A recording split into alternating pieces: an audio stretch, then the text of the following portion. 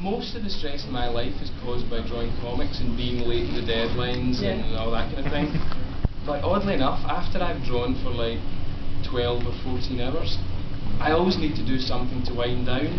And as often as not, I'm actually much more likely to just sit and doodle, just wee cartoon drawings and just wee sketches and just practice things, rather than watching the television. Yeah. So I, I guess it must be therapeutic, but. Um, I must imagine there's no room for procrastination, you know. Straight deadline. You're like, ah. gotta You'd be surprised. now. Yeah. Can usually squeeze in a little bit. Any questions? Over there?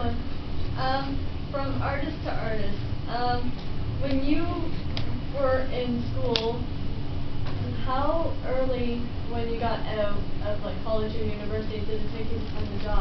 Let's start with Karl for this one because Frank's been. has to try So that I can actually do some Yeah. Karl? Uh, how long between finishing school and getting a job? I actually flunked out of visual arts. um, and, uh, well, actually, I was trying to get into comics from, uh, I think I was 17 or 18.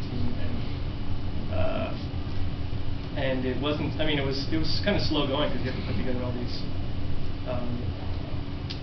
submission packages. And my parents started getting a little nervous and made me get a job at a factory, and I said, no, I don't want to take a factory job. I'm going to be drawing comics. This is, you, you don't understand me. I'm an artist.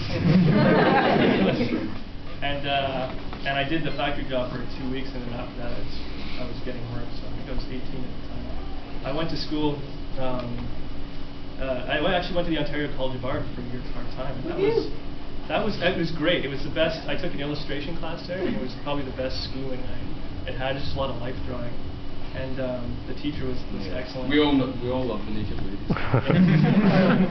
uh, but then I thought um, I thought well maybe I should uh, you know actually go to university because it's a little more official and what what one does.